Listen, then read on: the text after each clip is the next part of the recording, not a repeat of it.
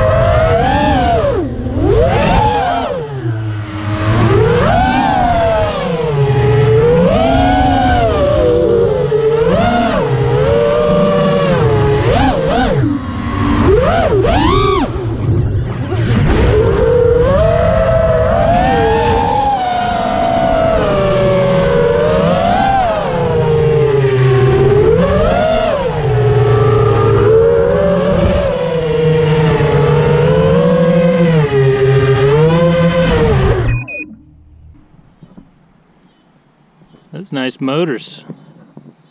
Just a little warm. Not bad. Make this review short and sweet. These are the Race Day Quad 2205 2450 kV motors and I got these just because of the height they're a little bit lower than the sunny skies and wanted to try a little higher kV on this super light um, baby helix that I made. And I I wasn't expecting much for $13 but they're little powerhouse motors. They got so much power out of such a small little motor.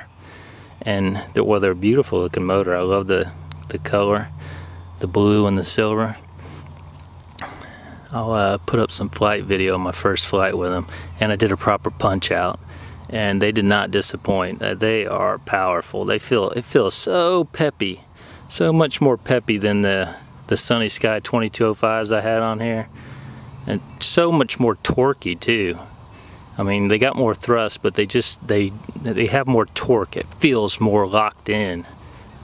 Everything you do is just is just better. And they're beautiful.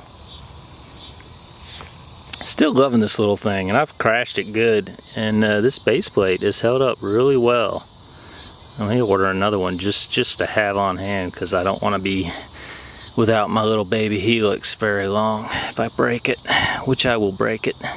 The only thing I don't like about these motors is the three millimeter shaft, but you you can't, I don't know if you can get a motor this light with a four millimeter shaft. It's probably not possible.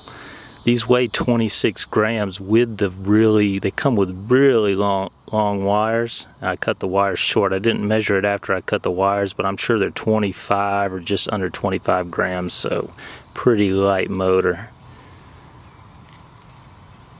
I'm sure they're made, they're BrotherHobby, probably the same as the uh, Hyperlite 2205 that they sell.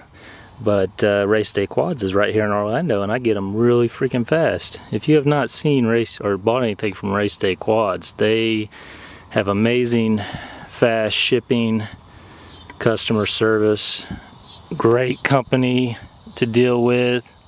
Oh, move my capacitor inside here and move my beeper back here because that capacitor I had on the bottom of the arm, yeah, I flattened that. I hit a tree with it or something and it, it was flat against the arm and it uh, busted out the top. So yeah, I moved it. I, re I really think a capacitor helps a lot on any, any quad to just make everything, the ESCs run smoother. There's my wires on the back for the capacitor. Love it my little baby. This video is running way longer than I expected.